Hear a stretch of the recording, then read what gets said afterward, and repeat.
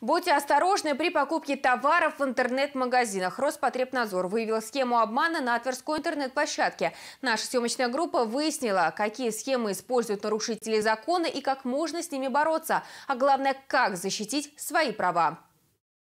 Одежда, обувь, технику, парфюмерию и книги – все это Ксения предпочитает покупать в интернет-магазинах. Покупка в один клик – это быстро и удобно. Недавно девушка совершила заказ на новом неизвестном сайте. Прелестили цены. Они были ниже в несколько раз, чем в хорошо известных интернет-магазинах. И предоплату вносить не надо. Только после получения товара заплатить, а уже потом можно и распаковывать. Но как только получила заказ, Ксения была неприятно удивлена. Вместо заказанных сапожек пришел шуруповерт. Вот такой сюрприз в коробке. Для меня, конечно, это был был большой шок. Я сразу же позвонила по указанному номеру на сайте.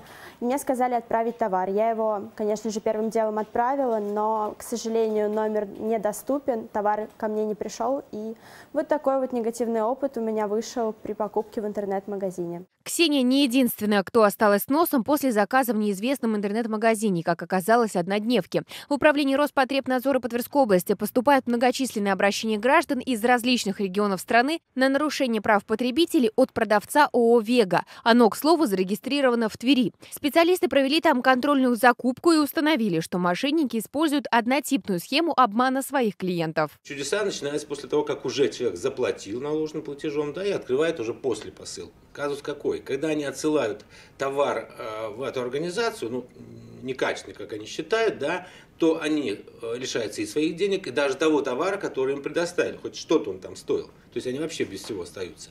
Но решение вопроса, если добровольно не получается, то в судебном порядке в любом случае это возможно. Правоохранительные органы, я так думаю, что все-таки здесь схема мошеннических действий, да, там тоже свои действия определенно производятся, да, и в конечном итоге также можно через суд каким-то образом на тех людей, которые, ну, если это так будет, да, нарушили законодательство, на них тоже подать в суд. А чтобы не стать жертвой при заказе товаров через интернет-магазины, специалисты рекомендуют использовать только проверенные временем интернет сайты